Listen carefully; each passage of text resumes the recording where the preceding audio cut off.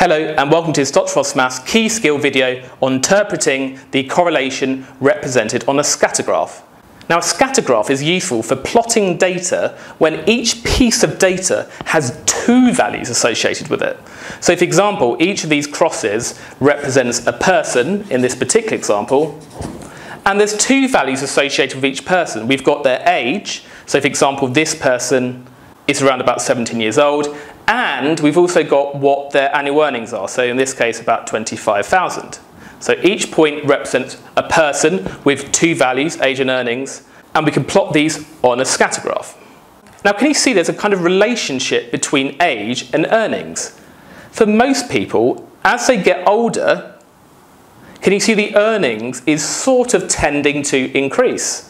Take these two people, for example. This person is older than this person, so he has more years, and he earns more than this person. Now, that's not always true. Take these points, for example. This person is older than that person, but he earns less. But overall, there's this kind of trend that the older you are, the more you earn.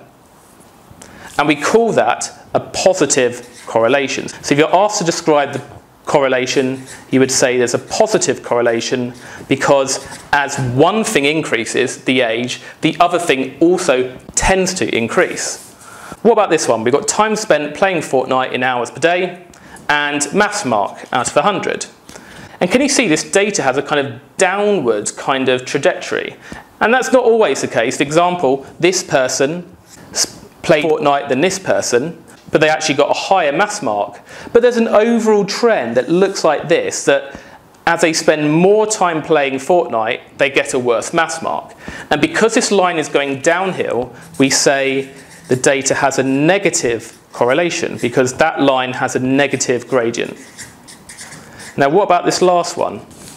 People in town called Dave and the number of crimes per month.